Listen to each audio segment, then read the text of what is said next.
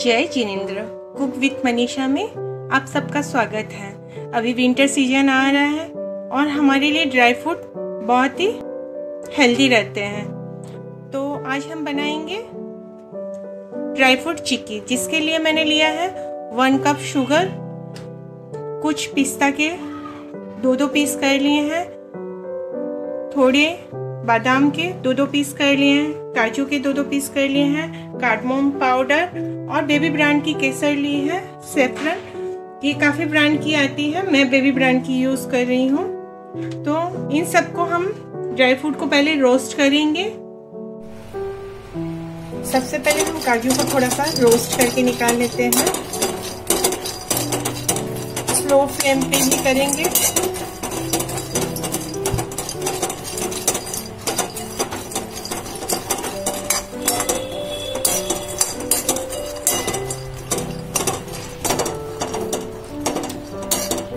काजू हमारे रोस्ट हो गए हैं। इनको मैं निकाल लूँगी। सेम प्रोसेस से मैं आलमंड को भी रोस्ट कर लूँगी। आलमंड भी हमारे रोस्ट हो चुके हैं, इनको भी हम निकाल लेंगे। पिस्ता को भी हम रोस्ट कर लेते हैं। पिस्ता भी हमारे रोस्ट हो चुके हैं, इनको भी हम निकाल लेते हैं। अब ड्राई फ्रूट चिक्की बनाने के लिए मैं सबसे पहले कढ़ाई में थोड़ा सा घी डालूँगी। थोड़ा सा घी कि कढ़ाई हमारी चिकनी हो जाए ग्रीस करते हैं ना, वैसे। एक्स्ट्रा घी होगा, वो मैं निकाल लूँगी। ग्रीस कर देंगे हम कढ़ाई में।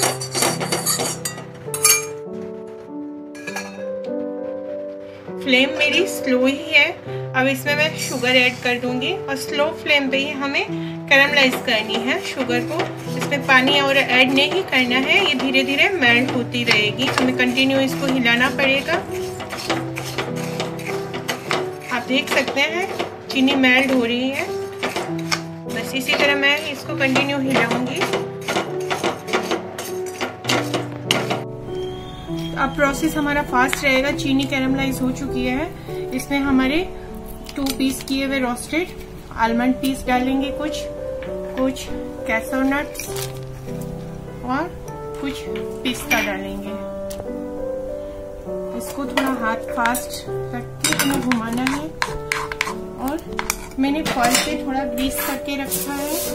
उस पर अब हम फैला देंगे।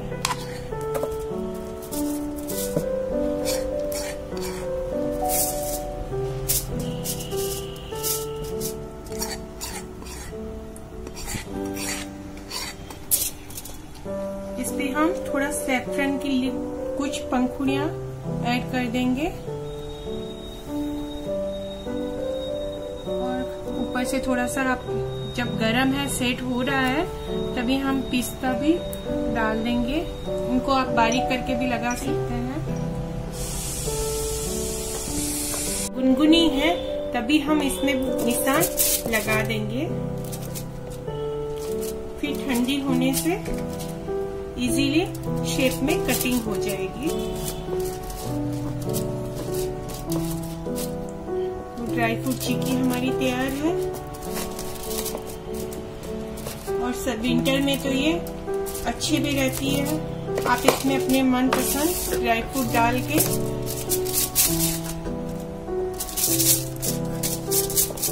खा सकते हैं। हार्मफुल भी नहीं है। अब आप देख सकते हैं फॉइल पे ग्रीस किया हुआ है। तो ये इजीली अभी भी ये गर्म है। मैं आपको पीस करके दिखाऊँगी।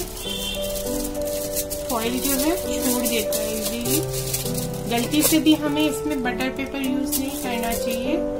वो इसमें चिपक जाता है। और पानी ऐड करना नहीं है। कैरमलाइज होते ही हमें इसको फास्ट प्रोसेस में डाल देना है। पहले से हम ग्रीस करके रखेंगे। बहुत ही इजी और बहुत ही आराम से बन जाती है कम समय में। तो बना के खाइए और अपने अनुभव कमेंट के ज़रिए मेरे को बताइए। कैसी लगी मेरी रेसिपी अच्छी लगी हो तो लाइक शेयर कीजिए अपने फ्रेंड्स फैमिली में। और मेरे चैनल को अभी तक सब्सक्राइब नहीं किया हो तो सब्सक्राइब कीजिए। बेल आइकॉन को प्रेस करना मत भूलिए, ताकि मेरे आने वाली नए रेसिपी के नोटिफिकेशन सबसे पहले आपको मिले। देखिए, हमने निशान वहाँ से ये क्रैक ऐसे करेंगे प्रेस और ये क्रैक हो जाएगा।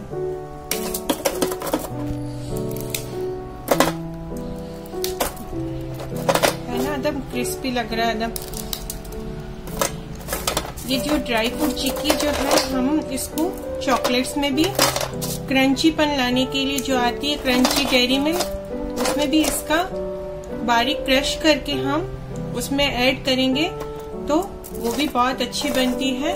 मैं मेरे नेक्स्ट रेसिपी में ये दिखाने वाली हूँ कि इसको हम कैसे चॉकलेट्स में ऐड कर सकते हैं।